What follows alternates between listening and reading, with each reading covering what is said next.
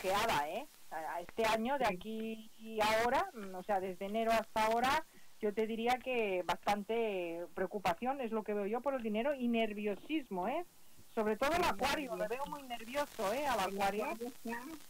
Está que se sube por las paredes, ¿eh? Sí. Eh, a ver, es lo que veo yo. Oye, ¿vosotros tenéis o estáis esperando algún dinero o alguna ayuda de algo? Sí, estamos esperando una herencia.